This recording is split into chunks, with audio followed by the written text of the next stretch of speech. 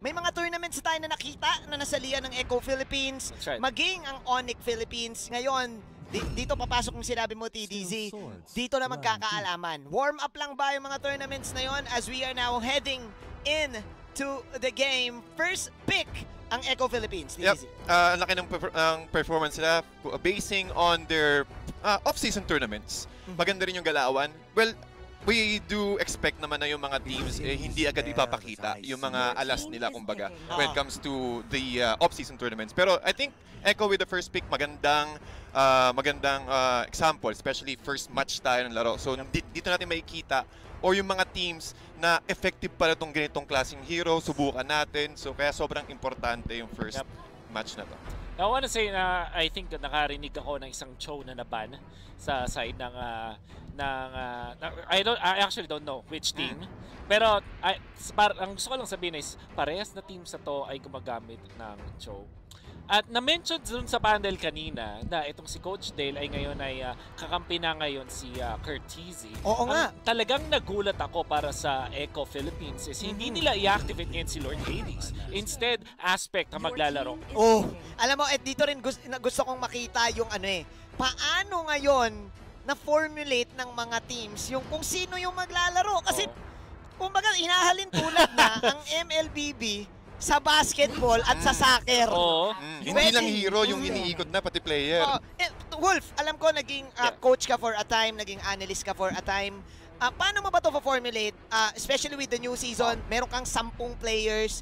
Ano ba dapat ang nasa isip ng coach na ito yung ilalagay ko dito, ikaw yung ilalagay ko dito? Okay, so ang pinakaunang approach is depende sa kalaban which uh, you, you feel na kung ang isang uh, composition ay aggressive, meron ka mga combination aggressive players, meron ka mga passive players. Kung feeling mo effective tong lineup na to, yun ang gagamitin mo sa kalaban. Oh. Ang second approach is kapag kabisado ng isang player, yung playstyle ng kabila.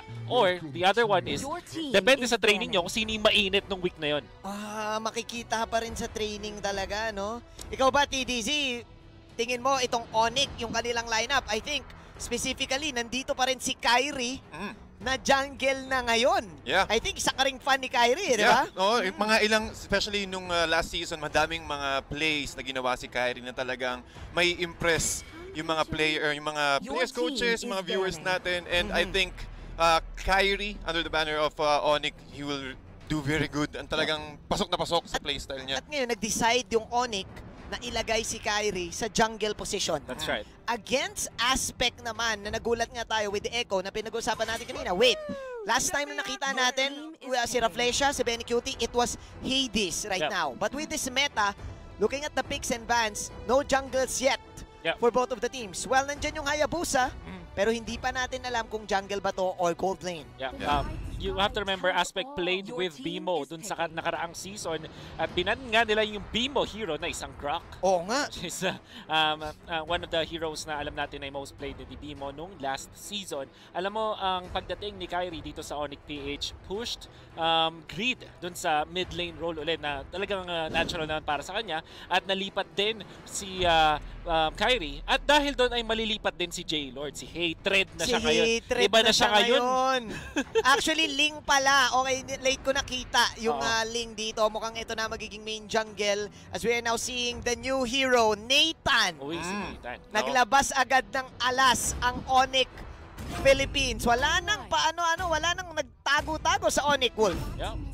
Ag-agad pinakita nila Ling Rafaela tapos may Nathan and then also revealing the fact na hin uh, etong Esmeralda ay magiging gold lane for them. Oo. Or at pwede rin naman EXP but this also means na pwedeng mag-gold etong Nathan o kaya mag-mid lane. Wa- wa- wa- well, hindi pa natin ko, ah, alam kung sino last pick ng Onyx, but uh, TDZ, I have to ask you for the lineup of ah, Echo Philippines, Mhm. ano ang nakikita natin? Mukhang Hayabusa jungle na to. Well, ang nakikita ko dito sa Echo, masyado mabilis yung ah, yung draft nila. I mean, especially up against Nathan. Si Nathan kasi early game, ang dali niyang patayin eh. Glass cannon siya eh. Pag umabot tayo ng late game, doon natin mararanasan o mararamdaman yung sakit ng basic attacks niya. So, ang plan ng Echo dito, sa nakikita ko, meron silang burst with the Kagura, meron silang team fight presence, meron silang I'm offended dito ni Ruby. Pero yung early game ng Echo, kung sakaling magiging jungle nga, I, I think this is a jungle Hayabusa for Echo. Ang dami rin nilang rotation. So, it is a really uh, challenging part para sa Onyx na i-survive yung early Oh. game. Hold that thought, TDZ. Joke. Tama lang. ba yung nakikita natin? Tama ba, ba yun? Tama ba yung nakikita natin? Parang may mali yata. Parang may mali yata. Titignan natin. Pero Oh. sure ako, yung Nathan, sure na yan eh. And we've seen uh, Nathan na ginagamit sa mga uh, other leagues, of course, sa, uh, sa off-season tournaments as a a, uh, as a jungler or as a gold lane. But, right, like what TDZ said, yung lineup dito ng Echo is a burst AOE lineup. Meanwhile, for Onyx Philippines, Mukhang ah, ramp up yung kanila. Ling, hintay nila magkaroon ng farm. Maghihintay sila ng, ah, ng late game kung saan malakas na yung Ling pati yung kanilang Nathan. Esmeralda is also there. So madaming mga heroes na parang greedy on the side of Onyx PH. Oo Ang nga. kanilang pinaka-early game na lang na, ah, na, na, na, na, na kukunin yung kanilang strengths early game is yung Thams. At ito yung nakakatakot. Rafaela Thams, tas Esmeralda Habulan, na making the space for this Ling. And then, etong Nathan, ito yung ah, isang bagay na siguro magugulat yung mga players natin out there. Actually, hindi naman ito yung first time. Pero mid laner ang kukuha ng Nathan. it's it's a Nathan position 4. Exactly. Mid lane Nathan Wow. na usually nakikita natin kay Baloyski, uh, also known as Greed, na laging mage. Exactly. Interesting lineup mula sa Onyx Philippines. Here we go. Echo Philippines versus Onyx. Who is going to rebuild their dynasty? Ito na nga yung binabanggit ninyo. Boots na agad para sa lahat. Recta boots na, isang Oo. mabilisan lang speed ang labanan dito para sa dalawang teams natin. At nakikita natin yung ah, positioning, yung ah, kung paano gumalaw yung Echo, talagang more on invade and Yes. just parang duo eh. Rafaela pati Nathan lagi yung ah, stick together eh. Hmm. Magkakasama. Alam nyo, sa metagame ngayon, may tunay na jungler. Dedicated jungler. Grabe, pinalibutan agad si Aspect. agad, laban agad, no? Sinabi mo. And dito mo makikita kasi yung mastery na sinasabi natin, Dlarsky with his stamps. Look at that. Takat. Wow. The ultimate, the, the, the, the Dlarkat. The Dilarkat. The Oh. Which is I think fully aware naman ang Echo Philippines. Bakit? Kasi parang hindi rin na, parang hindi man lang kinabahan sina aspect on that part. Parang in-expect nila na pupunta doon yung Mhm. Sa orange ba? Well, ang bilis din kasi, kumbaga, with the Rafaela, along with uh, yung, yung si Baloysi, yung Nathan, sobrang bilis talaga eh. Kailangan nilang i-stop or at least i-control yung early game ng, uh, ng Onyx para at least hindi sila mag-snowball ng ganong kabilis. So, removing or at least prioritizing the orange buff, medyo na delay ng uh, level dito si Aspect. As you can see, level 4 na si Kyrie, si Aspect level 3 pa lang. So, Yeah. that's a, a very good start for Echo. I, I think, ano, yun talagang mission talaga, no? Kapag kukuha ka ng mga early invades, Yep. just delay the jungle of the enemy and kahit hindi mo siya, ah, hindi mo siya makill, panalo kayo. Panalo kayo sa trade na yun. And so far, si Aspect ay level 3 pa lang. Yeah. Almost, makukuha ka siya ng level 4 eventually, pero hindi, hindi ideal na nakawan mo ng, ng EXP itong main mid lane. Ayun, no, parang kumukuha siya eh. At alam Oo. natin, kapag meron kang, ah, jung- meron kang jungle item, reduce yung makukuha mo from the lane minions. Yeah, me- me- That- Kaya lugi sila dito. Yung turtle ay makukuha ng Echo, ng uh, Onyx ng, ng mabilis. nauna agad ang ah, team ng Onyx Philippines sa Ooh, turtle ng mabilis. Ito yung ititrade nila in the top lane as Raflesha will uh, just Okay. jab at ipapop nila yung Zaman Force. Nothing will happen yet but look at the bottom lane right now. TDZ, another orange buff na mapupunta sa side ng Onyx. Pati kumakat sila sa may bottom lane, makikita natin every single time na mapupush forward yung creeps, yung lane equilibrium sa bottom lane, laging nandun si Dilar. Talagang one of the best ways to control the bottom or at least remove the energy shields from the Yun bottom lane. eh. Kasi nangyayari dito, tignan mo, hindi makadepende si Curtizi, ubus na yung outer third energy shields, nabigyan ng free gold. Yep. Etong si uh, Kyrie, hindi na re-reduce Hindi na ang re-reduce. lane sa outer third energy shields. At lalo ngayon, pwede na mas maging aggressive dito ang Echo since uh, mas madali rin, merong ano eh, Onyx. Oh, ayun, yeah, yung Onyx eh. Kumbaga, mas madali nilang mapapasok yung uh, mas maging play aggressive, kumbaga, Oo. against Echo. Kasi alam nila na lamang sila dito sa part na nahihirapan si Curtizi. And tignan mo yung backs out na ginagawa nila. Eh, ka- kahit na parang ang bagal ng laro, yung Onyx lumalamang ng isang libo. Yep. And sumusubok yung Echo na mag-trade sa top. Tignan mo yung energy shield sa baba, ubus na. Exactly. Dito naman sa top, buhay na buhay pa. Yeah. This, this also gives, ano ah, hindi lang ang nagbe-benefit dito is yung mga side laners. Nabibigyan din ng farm itong si Baloyski.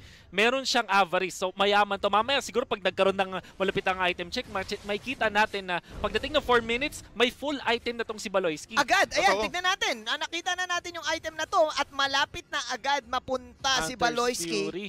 Oo, Mukhang Hunter's uh, Fury. isa siya sa mga pina, ano ha, malapit. Hunter Strike, sorry. Hun- Hunter Snipe, Oh. yung, yung pera niya, parang ano no, pang core.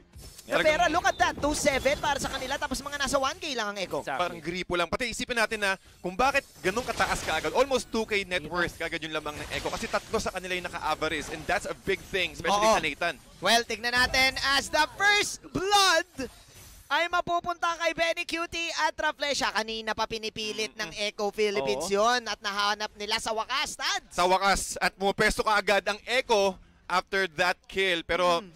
ano na naman eh, parang basado na rin ng Oni. Kaya alam na natin na okay, sige ganito, nag nag- nagkaroon sila ng successful pick. So kailangan natin depensahan yung second objective or your next objective. We- mhm. Tignan natin dahil yung lower uh, turtle ay kanilang kinukuha, it's still gonna be Kyrie for the turtle. So even though nakakill ng ang Echo in the top lane, para bang wala rin silang nakuwang magandang trade after that kill. Oh, well, they did expend yung kanilang unang rotation mula doon kay uh, Aspect doon sa may top lane. At nakakuha sila ng kill eventually na sabi mo nga man, Jimmy, kanina, kanina pa nila pinipilit. Nabibigay ito Sonic uh, PH ng napakaraming space sa mapa. So, even when there's a kill, objectives na sa Onyx at makikita mo to eh, bawat minuto pa palaki ng palaki ang lamang ng Onyx PH kahit pa hindi sila nakakapatay. Ayan nga oh, ma- magpapatayan na nga sila. Pipilit na ang side ng Echo dahil yung ang overturn ni RK3 from out of nowhere will take down sa wakas si Baloyski. 11 seconds down para paring dads. Ang ganda ng pagkakapasok doon ni, uh, ni RK3. Nakita niyo, ooh, umalis doon Wow. si Nathan. But yung kasi problema sa Nathan, eh, wala siya gaano mobility. Yeah.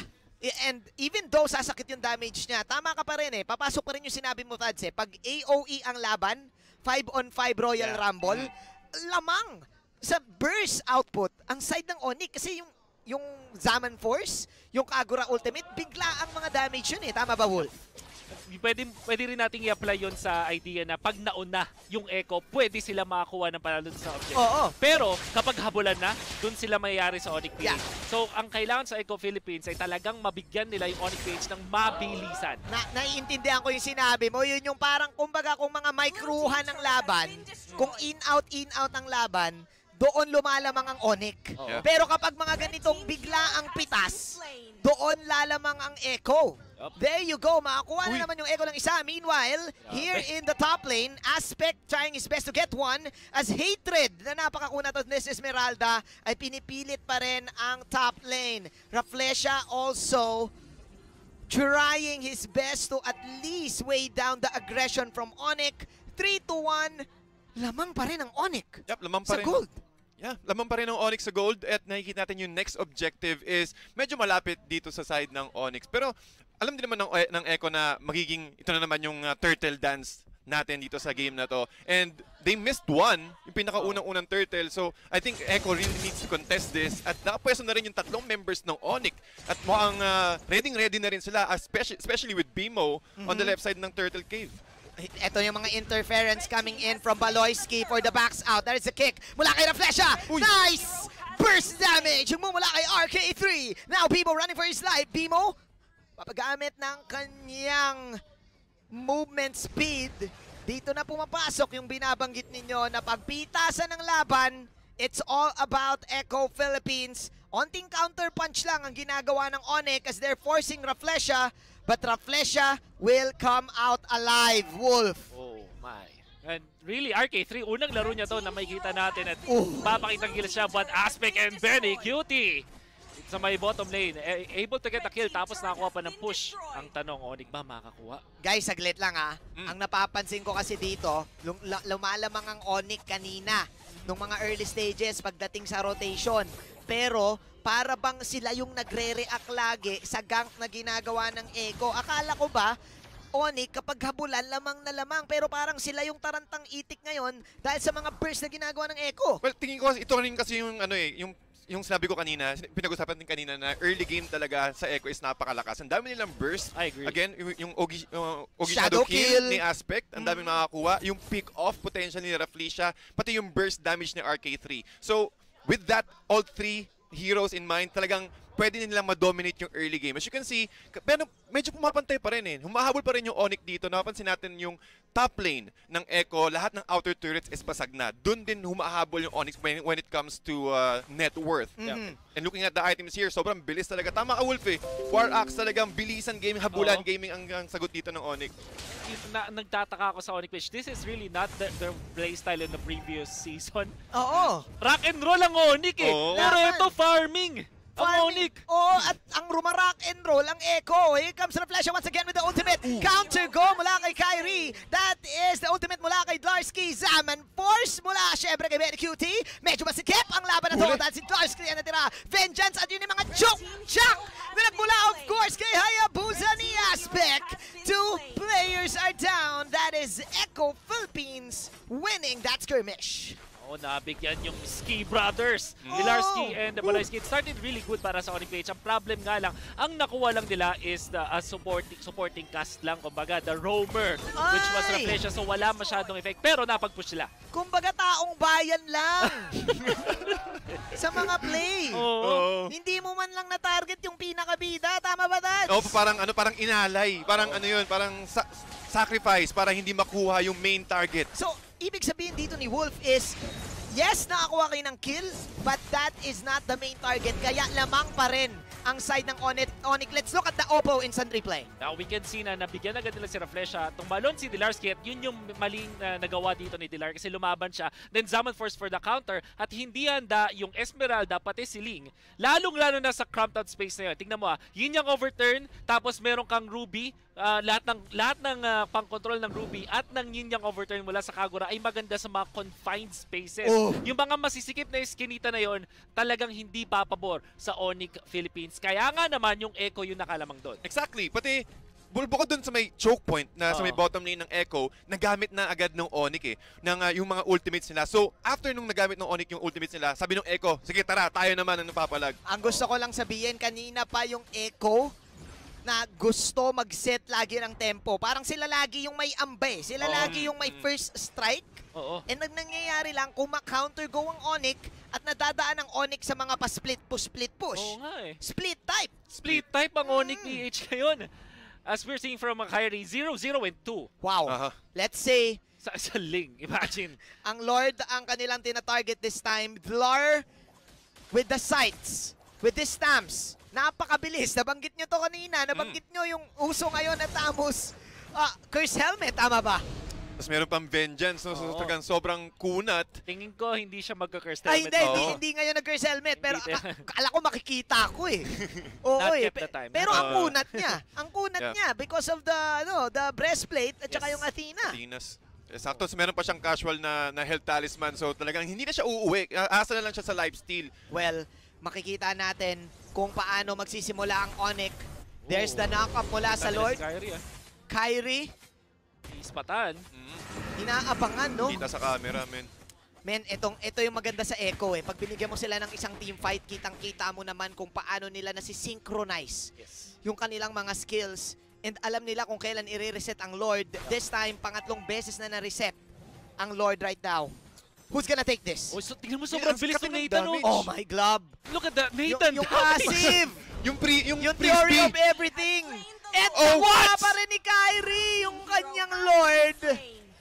na biglang echo pero RK3 from out of nowhere with the Kagura Yin overturn. So Oh, kayo pa rin sa hatred to the counter go. Lamang pa rin ang Onyx dito. Akala Echo Philippines na yung makakabawi. But still, Onyx with the Lord at two kills. Anong nangyari doon? Ang ganda ng counterplay ng ah, ng ek- ng Onyx doon rather kasi nakita natin na si RK3 nakapag niyang overturn siya agad kaso kulang yung follow up. Si Aspect hindi available yung kanyang ultimate and I think ano lang eh a little bit of hindi nila ine-expect na ganun kabilis mabu mabuhat Sobrang yung HP ng Lord. Oo. Yung frisbee man kasi bumabalik parang nagiging, nagiging boomerang yung frisbee. Yung passive ng isang Nathan Leviathan, yung theory of everything na bumabalik sa kanya. Bumabalik. Kaya sakto talaga yung DHS dyan eh. Di ba. Wolf? Saktong sakto. Ah, nasusulit kahit anong item actually. Oo. Tapos nako-convert pa siya into magic kasi parang ganun yung ano niya eh. Ah, ganun ang ah, ang idea dito sa isang ah, sa isang Nathan. Nathan. Kaya pwede siya talaga mid mage or the post or the mid lane, 'di ba? Ngayon, ang nagulat talaga ako yung sa damage ni Hate. Okay. Oh! I'm offended. Triple ultimate para dito sa side ng Echo Philippines. Nice setup mula kay Kurt Daisy. And it's still again another victory sa team fight ng Echo Philippines. Kanina pa nila tinitiis yung mga papitas-pitas na to. Dlarsky running away for his life. Nilaban niya na lang. Echo Philippines. Nasa comeback mode Min. sila this time. Wow. split type pa rin talaga. Onyx Page, nakita mo, nakakuha sila ng push sa may bottom lane. Tapos sa may top, halos makapush si Dilar.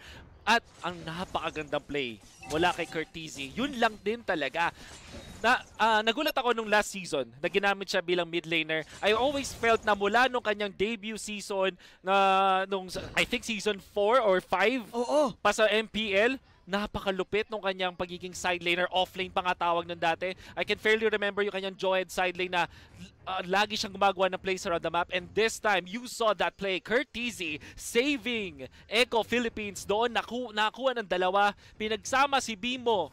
Pati na rin itong si uh, Baloyski. Yeah. At nakita mo yung damage si Benny QT. 4-0 in 6 na ngayon ha, Kailangan si natin, Benny. Kailangan nating alalahanin na si Curtizi ay isa pa ring M2 representative. That's right, Yeah. that's That right. is now playing for Echo Philippines. Tama ka, Wolf. Niligtas niya ang Echo mula sa kapahamakan nitong Game 1. But then again, tama ka din. Na-split pa rin ang laban ng Onyx. Yeah, doon bumabawi yung. Onyx, eh, no? Kumbaga, Split type. sige, willing silang mag-trade sa mga ganong klaseng exchange, pero objective pa rin eh. Pero meron, eh. meron silang naiiwan na talagang magandang opening for the next team fight para at least ma-punish or ma-force yung Echo na bumalik or mag-defend sa base nila. Lagi in layman's Mind games, In layman's term kasi, Kuya Tads, Kuya Wolf, lima yung echo na bubuhos ng skills and ibubuhos nila sa dalawa or tatlo habang yung dalawa na kampi ng Onyx, split type.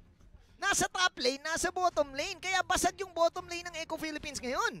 Kaya ang ganda na ng ano eh, ito yung isa sa mga ah, play na nakikita natin na, nag- na nag-e-evolve going through season 8. Yung mga ganitong klaseng playstyle. Yes, mag exchange ka ng, ah, ng trades, magte-trades ka ng, ah, ng hero Ng kills, hero. but objective. Mag naghahanap ka ng, ah, ng growth or ng net worth for all of your teams na talagang aangat tayo. Eh, looking at the net worth here, almost 3.8 K yung lamang dito ng ah, ng Onyx Onyx. So almost isang item na rin yan. Pero 11 kills ng Echo eh. Mm. Diba? So talagang magugulat ka eh. Parang 11 ano, to 4. In, makikita nga natin yung stats man lang. Ano, Harif, 4-0 and 6. Si RK3, the rookie. Ewan ko kung yan yung ibig sabihin, pero actually yung meaning Pangalan ng RK3 niya. yung pangalan niya. Oo. Pero yeah, RK3 making a case na parang sabi dito ng ah, ng Eco Philippines. Okay, sige, Baloy, sige, pumunta ka sa kabilang panig. Meron kaming pwedeng ipalit sa'yo. And so far, the Kagura proving to be wonderful in this particular Yeah. game. 3-1 and 5! Wow. Wow, wow talaga. And, and yung setup, kanina pa natin nakikita yung mga uh, yung, yung overturns na napakaganda connected with the I'm Offended ultimate ni Kurt Tizzy. Split type pa rin, oh, mo. And look at this, here we go. Nang si split si Kyrie. Basag na. Ah, napakabilis nun. Pipilit si Raflesha. Here comes the Lord Dance, ladies and gentlemen. Dlarski forcing his way in kay na Aspect. Onyx Philippines. This time, mapapagamit na ng Envy. Mapapagamit ng Conceal ang side ng Echo. Oh my glove. Hindi ko ngayon alam sino magsisimula ng laban, Wolfie Oo Tats. nga eh. Oo. Pero man, ang bilis kasing bumasag ng ano eh, ng objective ng Onyx. eh. Kita mo, almost 50% kaagad yung damage dealt nila sa Lord. Sinita. Kapag naiwan talaga, no? Ang Oo. bilis eh. Means- 17 minutes. Split type talaga eh. Split decision. Split decision. Look at this. Here we go. One-on-one si Kurt at si Kyrie sa baba. But the Lord right now So- ay inaatake ni Baloyski. RK3 and company. Respecting Onyx Philippines. Man, split split decision Split talaga. decision talaga, man. Hindi pwedeng mo lang maiiwan dun sa base eh. Kaya parang pinipwersa ng Onyx na, okay, sige, lamang kayo sa team fight, pero babawasan naman kayo ng isa. Okay, pero ito na yung tunay na laban. Yung sipag ginawa na dito ni Raflesha. Raflesha na iwan habang si Dlarsky na iwan din. Wala nang immortality sabay Tempest of Blades. Makakuha ata ng isa dito. Hatred! Ang dalawang heroes, but Hatred! Kunat! Hate me now, hate me later. Hatred taking Oh, down oh. Ng Echo. And Onyx Philippines sa wakas. This time wala nang split decision, wala nang split type dahil ang aming desisyon ay kunin itong Lord. Oh, so many standout plays. Uh, nakasecure na nga yung Lord na now Curtisi. Tingnan mo yung damage ni Nathan and Hatred. Wow! Wow! Hatred on the run. Wow! Former teammates, Benny and Hate. Sabi nga ni Kuya D, Cinco Kamote! Onyx Philippines! Hatred, ladies and gentlemen, 3-1-0. Clutch time plays para sa clutch time moments. Taking game number one.